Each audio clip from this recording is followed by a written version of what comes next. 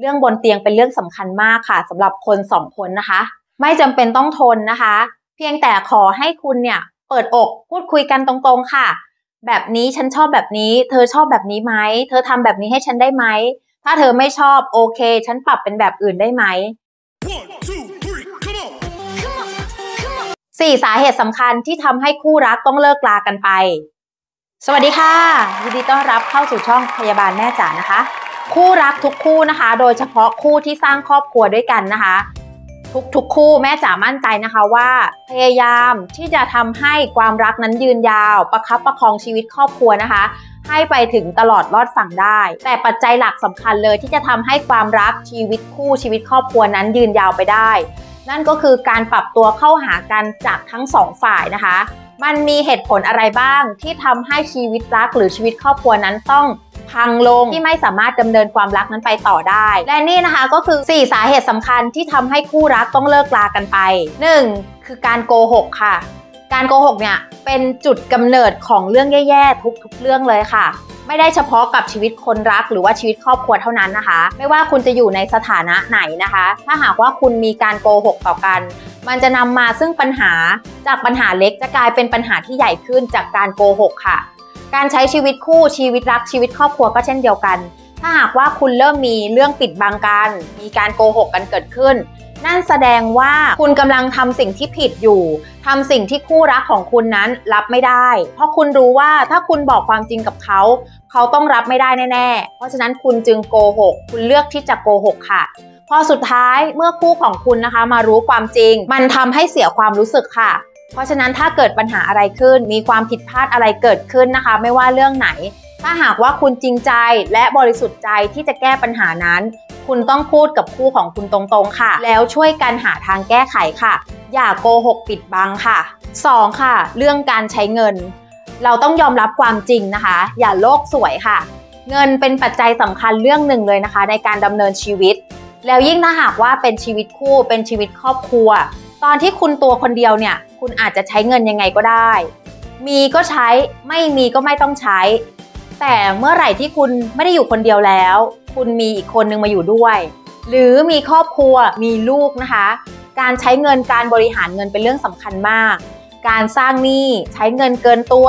เล่นการพนันแล้วทำให้คนอื่นๆ ในครอบครัวเดือดร้อน มันก็จะตามมาด้วยการทะเลาะเบาแหวงค่ะ เพราะฉะนั้นการใช้เงินเป็นปัจจัยสำคัญมากเลยนะคะ ถ้าบ้านไหนนะคะ ทะเลาะกันเรื่องเงินบ่อยๆ หาเงินไม่พอใช้ใช้เงินเกินตัว หรือสร้างหนี้สร้างสินนะคะ ทะเลาะเบาแหวงกัน บางบ้านมีการถึงขั้นลงไม้ลงมือตบตีต่อกันนะคะเพราะฉะนั้นเรื่องเงินนะคะ เป็นอีกจุดกำเนิดสำคัญเลยที่ทำให้ปัญหาต่างๆ ตามมาค่ะ 3. ค่ะ เรื่องบนเตียงที่เข้ากันไม่ได้ กิจกรรมหลักของชีวิตคู่ที่แตกต่างจากการใช้ชีวิตคนเดียวนะคะ นั่นก็คือ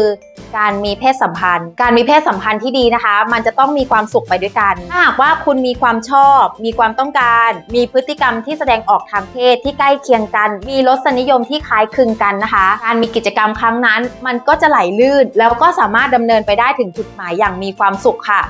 แต่ถ้าหากว่าคุณมีความชอบความต้องการที่แตกต่างกัน พฤติกรรมทางเพศที่ไม่เหมือนกัน อีกคนนึงชอบแบบโรแมนติก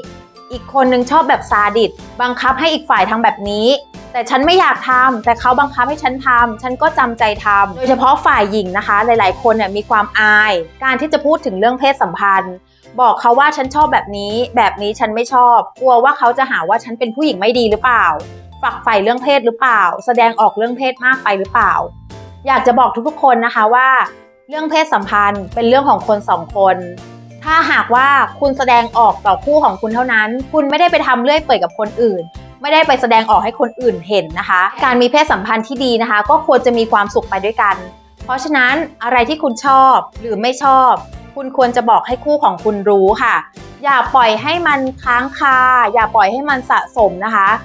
จนมาถึงจุดหนึ่งที่คุณรู้สึกว่าทนไม่ไหวแล้วทำไปก็ไม่มีความสุขทำไปก็ฝืนตัวเอง ไม่เคยถึงจุดสุดยอดเลย แบบนี้ฉันไม่ชอบแล้วก็บังคับให้ฉันทำไม่จำเป็นต้องทนนะคะ เพียงแต่ขอให้คุณเนี่ยเปิดอกพูดคุยกันตรงๆค่ะ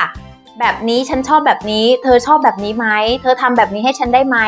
ถ้าเธอไม่ชอบโอเค ฉันปรับเป็นแบบอื่นได้ไหม ถ้าอยากให้ชีวิตครอบครัวยั่งยืนนะคะ เรื่องบนเตียงเป็นเรื่องสำคัญมากค่ะสำหรับคนสองคนนะคะ และ 4 ค่ะ ความเจ้าชู้นอกใจ หลายๆคนนะคะ ใช้ข้ออ้างว่า เป็นคน friendly เป็นคนยิ้มแย้มเข้ากับคนง่าย ไม่ได้คิดอะไร การ friendly นะคะ กับความเจ้าชู้เนี่ยคนละเรื่องกันนะคะ การ friendly ก็แค่พูดคุย รู้ขอบเขตนะคะ ว่าสามารถพูดคุยได้แค่ไหน แต่การเจ้าชู้เนี่ยมันจะเลยเถิดไปถึงการมีเพศสัมพันธ์ด้วย ประเภทหมาหยอกไก่มีแฟนอยู่แล้ว แต่ก็จีบคนอื่นไปเรื่อย หยอดคนอื่นไปเรื่อยนะคะ แน่นอนค่ะ เมื่อมีมือที่ 3 เข้ามา ครอบครัวมันก็ไม่สามารถดำเนินไปต่อได้ค่ะ และนี่นะคะก็คือ 4 สาเหตุสำคัญเลยนะคะ ที่ทำให้คู่รักหลาย ๆ คู่ ครอบครัวหลาย ๆ ครอบครัว ต้องพังลงต้องเลิกลากันไปค่ะ ถ้าใครนะคะที่รู้ตัวนะคะว่ากำลังมีพฤติกรรมต่างๆ เหล่านี้อยู่ แล้วไม่อยากจะเสียคนรักของคุณไป ไม่อยากให้ครอบครัวของคุณต้องพังทลายลงนะคะ ปรับเปลี่ยนแก้ไขด่วนเลยค่ะ หากมีปัญหาทักแชทเข้ามาพูดคุยกับแม่จ๋าได้นะคะ ขอให้ทุกครอบครัวมีความสุขค่ะ แล้วพบกันใหม่นะคะ บ๊ายบาย